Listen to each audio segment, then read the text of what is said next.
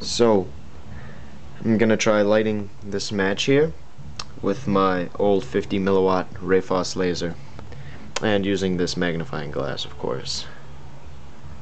See it's a it's a pretty intense magnifying glass. So all the batteries in both this and my new 100 milliwatt laser are fully charged so it'll give it the best possible chances. So I'm just gonna focus it there we go. Put the magnifying glass in there.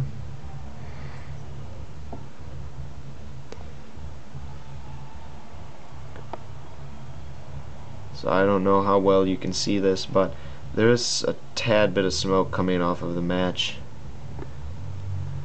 I'm having trouble holding the magnifying glass steady.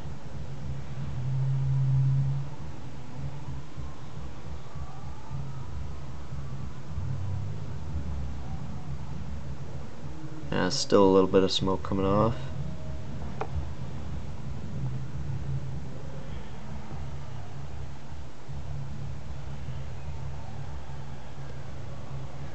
Looks like it's not gonna light, guys. So, take this guy off and get my pretty much exactly identical 100 milliwatt laser. I'll put them side by side.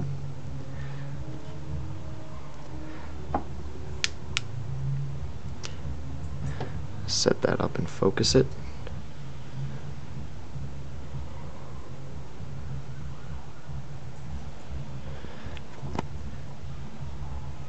Uh, come on, there we go. Already some smoke coming off of there. I'm gonna put the glass in the way just like I did with the other one. About the same amount of smoke coming off.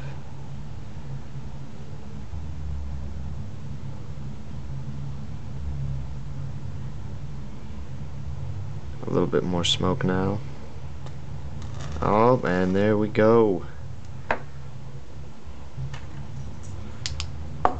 can see no trickery there. The match is actually lit. And I'll light my lantern up here with it.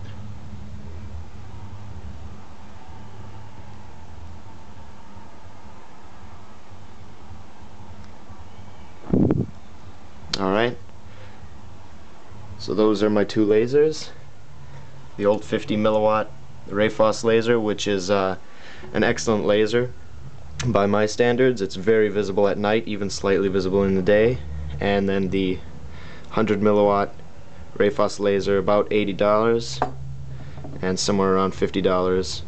I would also add that the customer service at Rayfoss is amazing. I uh, damaged the lens in this laser and just told them about it and they sent a, a, free replacement within a couple of weeks. So definitely would highly recommend both of these lasers whatever your budget allows. Obviously the 100 milliwatt slightly more power lights that match and that's what matters. Alright